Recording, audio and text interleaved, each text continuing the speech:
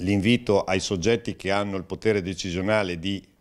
ragionare e valutare la realizzazione di un invaso eh, va in questa direzione. Noi l'anno scorso abbiamo ritenuto doveroso commissionare uno studio a dei professionisti locali proprio per vedere se si poteva individuare uno dei siti eh, potenzialmente utili. E loro hanno fatto credo un buonissimo lavoro in tempi anche molto rapidi e hanno fatto uno screening, dicevo, della, dei siti potenziali. Ma a noi questo interessa relativamente poco, anche perché il nostro voleva essere solo un contributo, uno stimolo alla valutazione e alla decisione. Riteniamo però che uh, un invaso sia un elemento fondamentale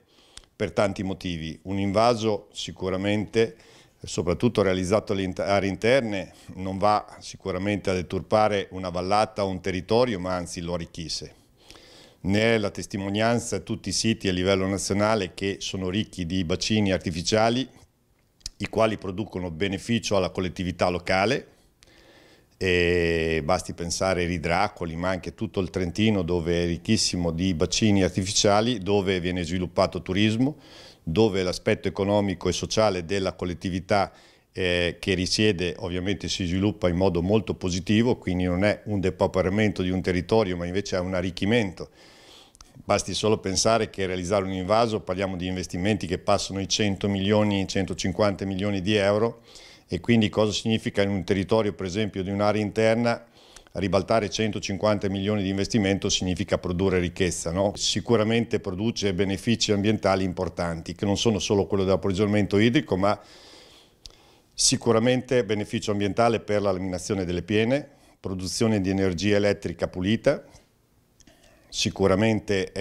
l'approvvigionamento idrico perché comunque è uno dei temi principali, ma anche un contributo, questo lo dico perché qualcuno solleva il problema del, dell'aspetto ambientale, avere disponibilità a monte di tanta acqua eh, significa anche avere dell'acqua da poter rilasciare nei fiumi quando le portate sono veramente di magra, come in questo momento, e invece di ridurre il minimo del flusso vitale eh, del fiume, ovviamente abbiamo la possibilità di rilasciare acqua. Quindi direi che i benefici ambientali sono veramente molteplici e, e ovviamente, eh, non lo so, io non, non, voglio fare polemica, ma quando sento aspetti ambientalisti che eh,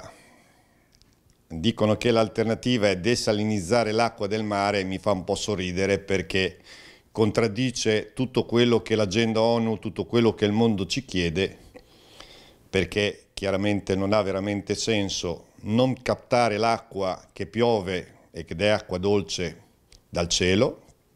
lasciarla andare al mare e poi pensare di desalinizzarla e riportarla in montagna. Concludo sul fatto che uh, un, un, invaso ovviamente eh, richiede, e questo ci tengo a sottolineare, quello che Marche Multiservizi ha presentato non è un progetto come qualcuno scrive sui giornali o solleva in giro. È un contributo che tende a individuare dei siti potenzialmente utili, ma vorrei evidenziare il fatto che comunque per realizzare un invaso richiede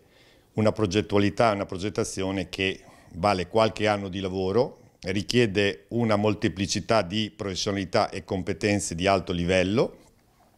e ovviamente richiede, questo lo dico perché così